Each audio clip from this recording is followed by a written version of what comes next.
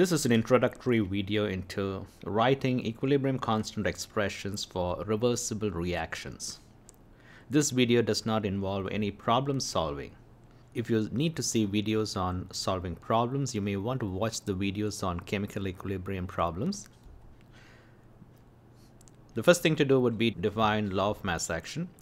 The rate of reaction is proportional to the product of the concentration of the reactants, each raised to the power equal to its coefficients as represented by a balanced chemical equation. That's for the forward reaction. For the backward reaction, in a reversible case, we can say the same thing about the products changing back to the reactants. And at equilibrium, you'll find that the rate of the forward reaction is equal to the rate of the backward reaction. Here is a general expression involving a general equation like A moles of A reacting with B moles of B, reversibly giving you C moles of C and D moles of D. If you write the equilibrium constant expression for this, its products over reactants would be C raised to lowercase c times D raised to lowercase d, that is product of the concentration of the products raised to the appropriate coefficients, divided by product of the concentration of the reactants A and B raised to the appropriate coefficients A and B. Or in short, we are simply writing the concentrations of the products to reactants raised to the appropriate coefficients. That's how we write an equilibrium constant expression. Sometimes the Kc is represented as Keq in certain books. They both mean the same. Here is an example for you for a reaction between hydrogen and iodine forming hydrogen iodide. If you write the equilibrium constant expression for this one, it looks like this. HI the whole square divided by H2 into I2. The coefficients are 1 and 1, therefore we don't write any numbers. Let's look at another example.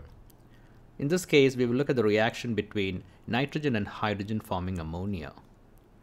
This reaction uh, has an industrial basis. It's called the Haber process. If you write the equilibrium constant expression for this, it is ammonia raised to 2 divided by nitrogen raised to 1 into hydrogen raised to 3. More equilibrium constant expressions. Here in this reaction, we have PCl5 undergoing a decomposition to give you PCl3 and Cl2. The equilibrium constant expression would be PCl3 raised to 1 times Cl2 raised to 1 divided by the reactant, which is PCl5. The next we will look at heterogeneous equilibrium. In a heterogeneous equilibrium, we may have more than one phases, either in the reactants or the products. So here is a reaction for the decomposition of calcium carbonate to give you calcium oxide and carbon dioxide. You would notice that the macroscopic property that is going to be measured to determine the equilibrium state is the pressure of carbon dioxide in a closed system. Adding small amounts of calcium carbonate or calcium oxide will not change the pressure inside the container at the given temperature. For that reason, the solids in this reaction mixture, either in the reactants or products, will not affect the equilibrium expression or the macroscopic property whose value we are measuring, in this case the partial pressure of carbon dioxide. For that reason, we write equilibrium constant expression in this case we are looking at the partial pressure based equilibrium expression which is Kp is equals to partial pressure of carbon dioxide and the exponent is 1. Here are more examples of heterogeneous equilibrium reactions. Here we are looking at the double displacement reaction and the formation of barium sulfate from the reaction between barium ions and sulfate ion from two water-soluble ionic compounds. The equilibrium expression for this reaction can be written as KSP is equal to 1 over Ba2 plus into SO4 minus. If you understand the concept of um, precipitation from saturated solutions, you would know that having excess of barium sulfate in the solution does not change the concentration of the ions. Because every time a precipitation occurs from its ionic solution, the solution above is saturated with respect to barium ions and sulfate ions. For that reason, Adding a small amount of barium sulfate to it will not increase the ionic concentrations of barium ions and sulfate ions. Hence, the equilibrium constant expression written in this case would be 1 over barium, barium 2 positive into sulfate 2 negative.